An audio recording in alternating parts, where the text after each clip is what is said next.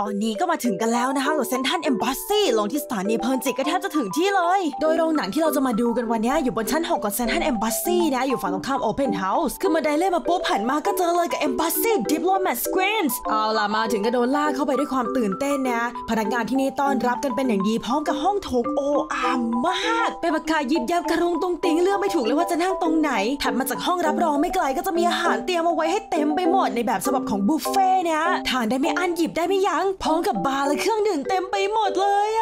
โดยอาหารภายในก็จะมีพี่พนักงานคอยมาเติมให้ตลอดไม่ขาดสาย แต่สำหรับใครที่อยากจะนั่งกุ๊กกิ๊กกันอยู่ที่โซฟา ก็จะมีพี่พนักงานมาจัดสำรับอาหารให้พร้อมกับ welcome drink แล้วก็ซุปด้วยนะทุกคน ต่อให้รอนานแค่ไหนก็ไม่เมื่อยเพราะว่าที่เนี่ยเขามีเก้าอี้นวด เอาล่ะถึงเวลาเข้ามาชมในโรงภาพยนตร์กันแล้ว ซึ่งจะมีทั้งแบบ bed แล้วก็แบบ cocoon บอกเลยว่าฟินเวอร์หุยมีขนมกันนะไม่กินเล่นด้วยเว้ยโรงอย่างกว้างบรรยากาศอย่างดี ขาดไม่ได้เลยคือ สุขา